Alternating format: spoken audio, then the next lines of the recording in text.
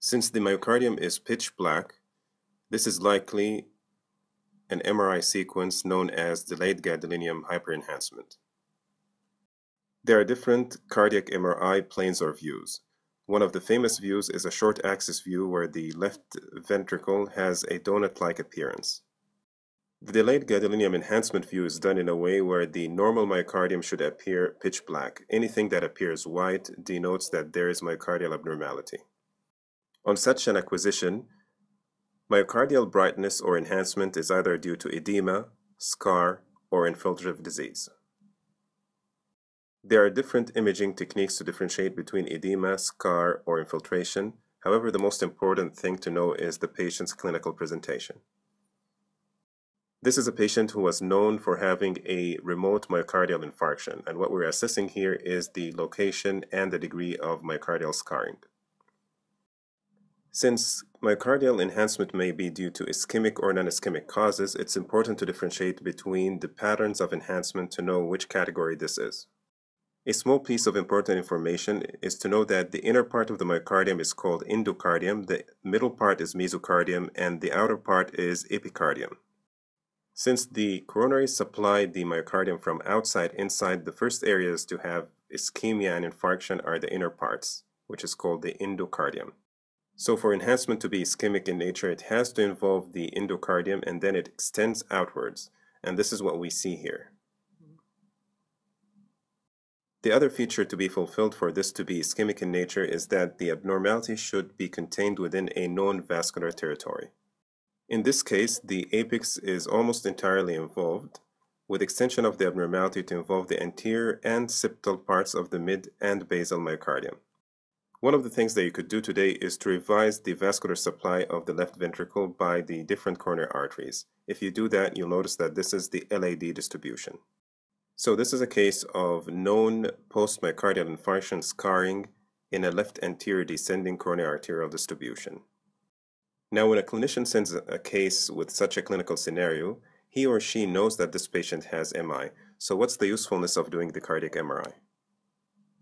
One of the major reasons to do such a study is to assess if this part of the myocardium is dysfunctional and if it could regain function after treatment. So the clinician needs to know if it's worth it to revascularize this area, meaning that by putting a stent or performing CABG to that vessel isn't going to be of use and this is what's called myocardial viability assessment by cardiac MRI. If the myocardium shows no enhancement or the enhancement is less than 50% of the myocardial thickness, this denotes likely viability.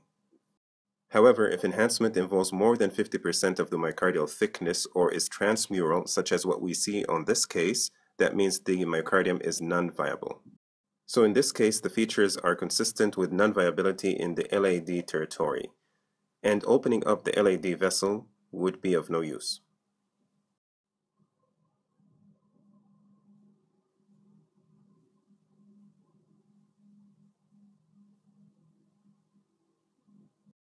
This is a nice correlation with the cine images on the same patient, showing that the areas that correspond to enhancement are not moving as well as the rest of the myocardium. In such case, revascularization of the LAD would mostly result in no difference with regards to the motion of the involved area, and this would not improve the patient's function. We learned today that there is a sequence on MR that's called delayed gadolinium hyperenhancement. We learned that there is a plane that's called a short axis plane. We also learned that delayed gadolinium hyperenhancement of the muscle denotes edema, infiltration, or scar. Importantly, we also learned that the ischemic pattern of enhancement should involve the subendocardium with various degrees of extension and should be contained within a known vascular territory. And finally, we learned that this kind of acquisition is acceptable as a form of assessing viability, and the golden rule is 50% of the myocardial thickness. This was a case with a bit of advanced imaging knowledge. Next cases would be a bit more simple. Thanks for watching. See you later.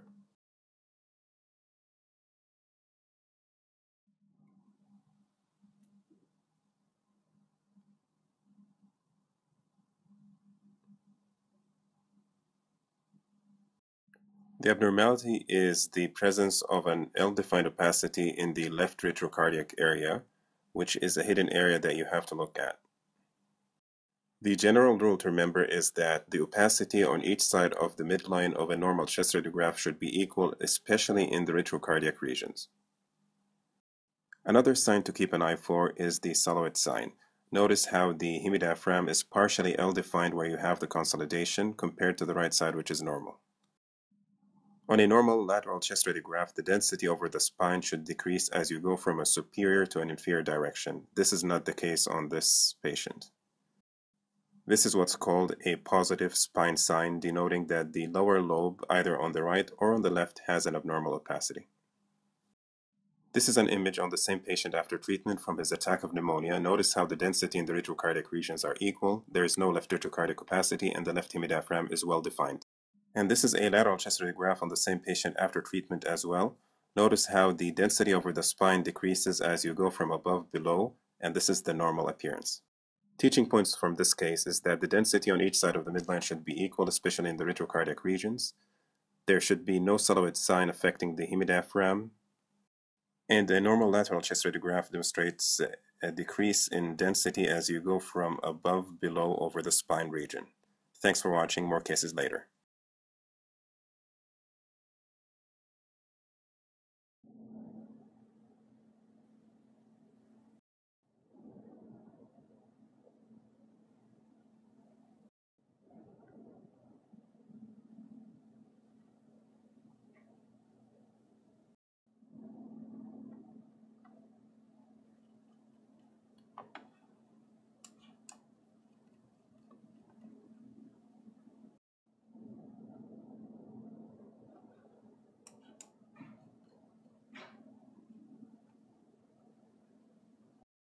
There is a relatively well-defined and heterogeneous left frontal lesion, which is minimally hypointense on T1. The abnormality is predominantly isointense to gray matter on the T2 acquisition and shows an isointensity to gray matter on FLAIR as well. Whenever you face an intracranial mass, you have to decide if this is within the brain parenchyma known as intraaxial or outside the brain parenchyma known as extraaxial lesions. There are several signs of an extraaxial location with this abnormality. The first is that there is no significant surrounding edema despite the size of the lesion. The second is the buckling of the cortex inwards, as if the abnormality is pushing the cortex instead of arising from within. The third sign is the presence of a CSF cleft as appearing as a dark line here between the cortex and the abnormality. Finally, extraaxial lesions are commonly associated with adjacent dural thickening, what we call a dural tail. So let's re-identify all these signs on this coronal T2 image. First, there is no associated edema despite the size of the abnormality. Second, there is a surrounding CSF cleft. Third, there is buckling of the cortex inwards. And finally, there is attachment to the dura. So all of these findings are consistent with an extraaxial abnormality. The most common extraaxial lesion in an adult is a meningioma, which this case represents.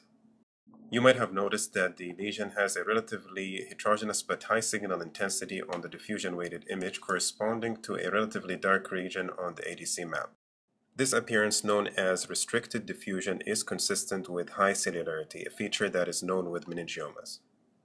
Finally, after giving contrast, meningiomas are famous for showing intense enhancement, which we see here. Have you noticed the other lesion that enhances as well? Meningiomas are very common lesions, so don't be surprised to see multiple meningiomas in a patient even without neurofibromatosis.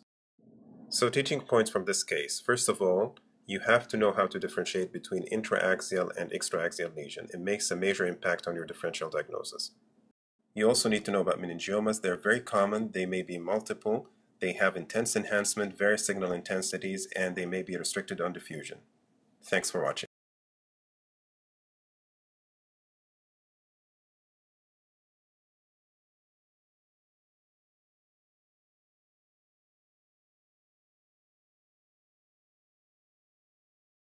There is a well-defined homogeneous nodule that projects over the right upper to mid lung.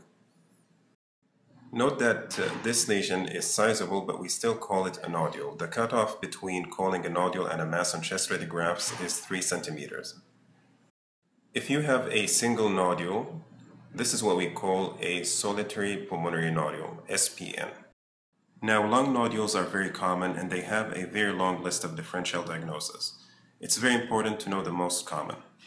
The five most common reasons for seeing a solitary pulmonary nodule are a granuloma, carcinoma, metastasis, hamartoma, and carcinoid. Since this patient is a known heavy smoker, a chest CT was obtained. I will give you a chance to look at the chest CT and decide for yourself.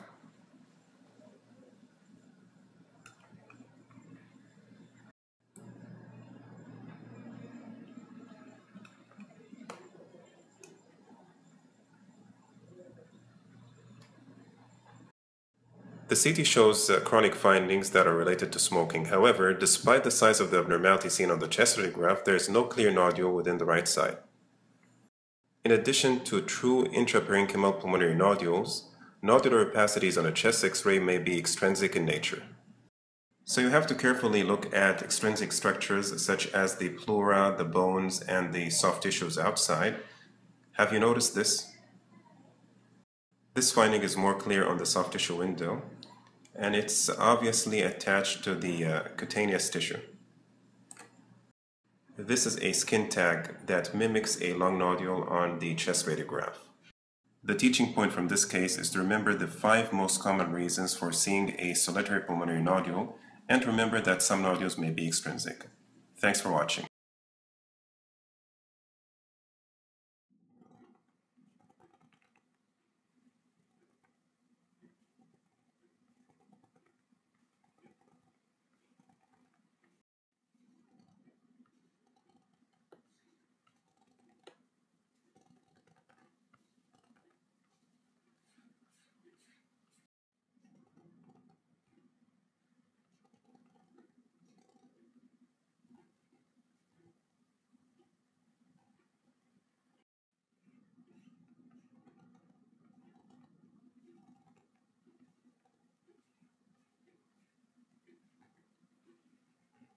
There are several findings in this case.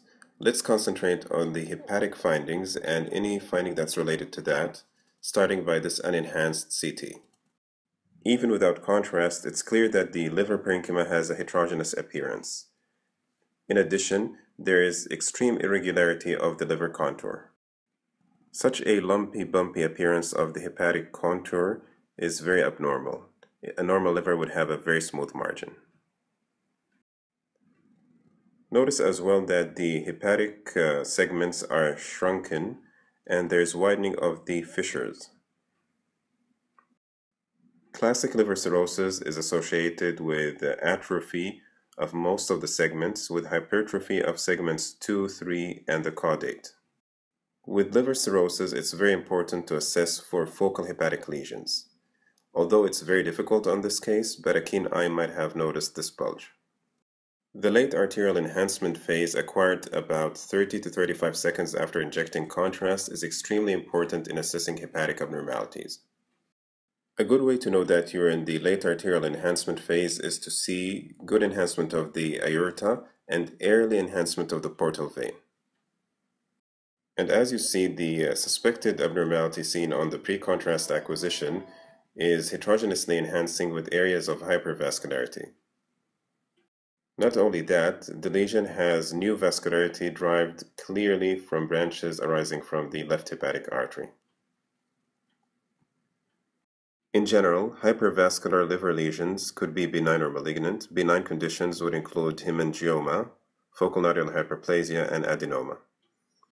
Malignant lesions would include hepatocellular carcinoma and hypervascular metastasis. However, a hypervascular lesion in a cirrhotic liver is a hepatocellular carcinoma till proven otherwise, which drives its supply from the hepatic artery. To complete our assessment, we have to check the portovenous and delayed phases.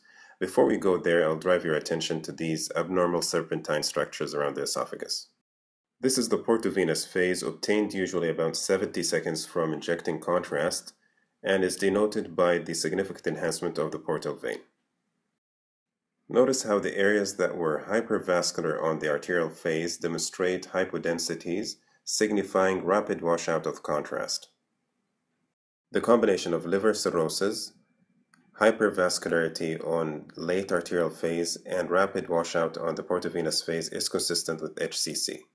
Remember the serpentine abnormalities that we saw on the earlier phases? They show significant enhancement on the portovenous acquisition.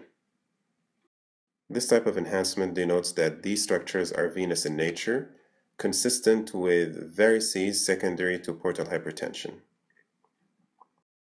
You could also appreciate submucosal enhancement of varices within the esophagus. Seeing this appearance, it's easily understandable why such patients present with bleeding.